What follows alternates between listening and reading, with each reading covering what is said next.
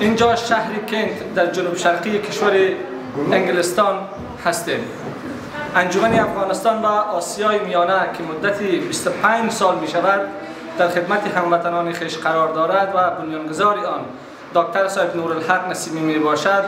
امروز به سلسله افتتاح دفاتر خیش در سرتاسر کشور انگلستان به شهر کینت امراه با امراهانشان آمدند تا یک نمایندگی خیش را در اینجا افتتاح نمایند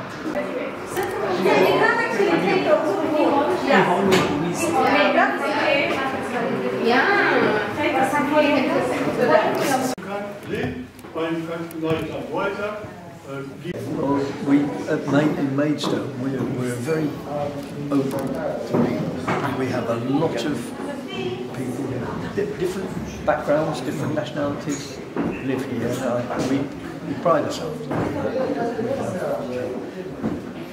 Large Nepalese community, a lot of Asian people here, and, uh, and you know we welcome them in, into our um, communities.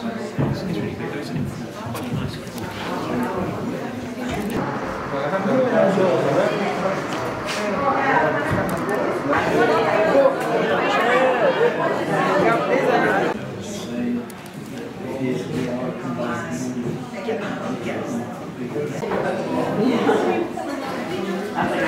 so I'm thrilled to be hosting uh, today's launch of the Afghanistan and Central Asian Association uh, Integration Project in Kent. Uh, my name is Shabnam Nasimi and I am a former government policy advisor to the Minister of Afghan Resettlement and Minister uh, for Refugees. Your presence today signifies the importance of our collective efforts to build a supportive and inclusive community. First of all, I wish to extend my heartfelt gratitude to Dr. Nasimi, MBE, the founder of Afghanistan and Central Asian Association. His vision and dedication have been driving, driving force behind the establishment of this new branch. His journey from being a migrant himself to the founder of ACAA is a testament to resilience and potential within every individual who arrives in the UK and seeking for a better life.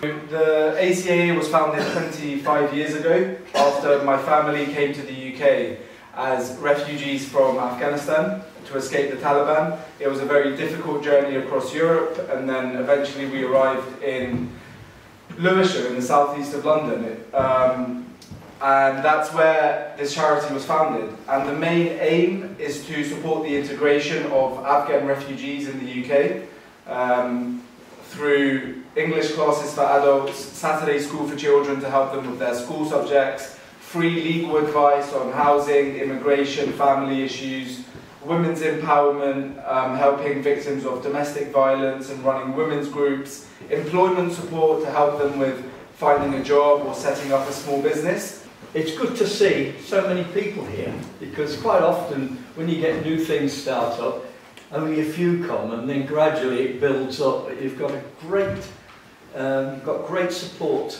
here tonight, and um, hopefully that support will continue whilst you're here and doing exactly what Darius has been uh, outlining. Um, we, we have a very um, open um, contact with people here. Um, we, uh, we do encourage the mixing of cultures. In my working life, I've, I've worked in the Middle East and many parts of the world. Um, and everybody you meet is always wel welcoming. And I, th I think I can see that here, that pe people are welcoming us here. And we, likewise, we welcome you. And, um, you know, if, you, if there's uh, any, any, you've got three councillors here, any problems and you want advice, then um, I'm Councillor Gordon Newton. Stuart Jeffery. Stuart Jeffery. Um, Councillor Maureen Cleator. So now, now you know, and they're, they're all different parties um, that uh, work in Maidstone. So, first of all, thank you very much Gordon, the mayor of Kent, the councillors, the local community groups, the beneficiaries. And thank you, a special thank you to the British people.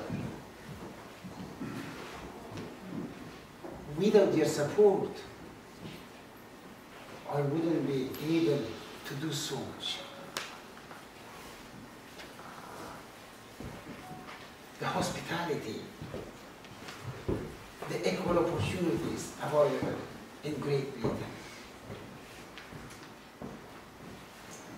I remember my personal experience when I came to the UK, my views about British society completely was different.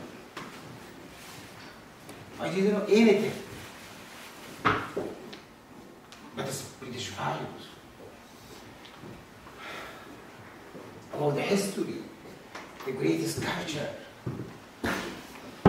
how Great Britain is the first country promoting democracy, rule of law, equality, social justice around the world. So having an organisation such as the ACAA here um, is, is a real benefit um, to, uh, to us as well as to our communities. Um, so I, I must confess, I have, I'm still very much still learning uh, about the challenges facing refugees and asylum seekers um, and, and, and others who have chosen to live here.